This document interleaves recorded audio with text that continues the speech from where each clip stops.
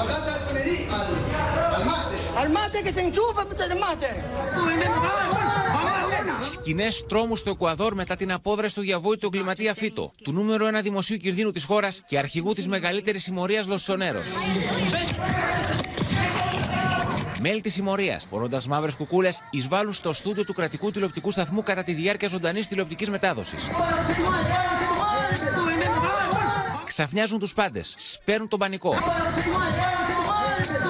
Οι κουκουλοφόροι προτάσουν τα όπλα και δίνουν εντολή σε δημοσιογράφους και τεχνικούς να πέσουν στο έδαφος. Quiero en primer lugar agradecer a la Policía Nacional por un operativo muy valiente, muy profesional, de extremado, de extremado peligro, donde el primer objetivo era, como corresponde, salvaguardar la vida de los funcionarios del Canal 10.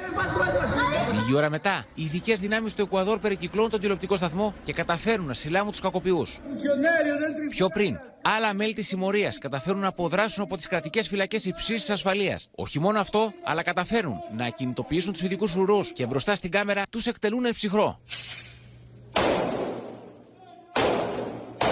Την ίδια ώρα, μέλη της μαφίας εισβάλλουν και στα πανεπιστήμια της χώρας, με τους φοιτητές να τρέχουν άρον-άρον προς πάσα κατεύθυνση για να διαφύγουν. We've never seen uh, a barrage of attacks all at once, uh, like we've seen over the last 24 hours. So I think it's a turning point because. Ο πρόεδρος του Εκουαδόρ, Ντανιελ Νομπόα, κήρυξε τη χώρα σε κατάσταση έκτακτης ανάγκης.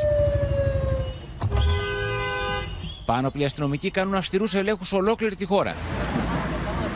Από τις συμπλοκές, τουλάχιστον 10 άνθρωποι έχουν χάσει τη ζωή τους. Από σήμερα, συναγερμός έχει σημάνει και στις αρχές του Περού, οι οποίες ενίσχυσαν τα σύνορά τους. Όμως και οι Ηνωμένες Πολιτείες Αμερικής εκφράζουν την ανησυχία τους για το περιστατικό.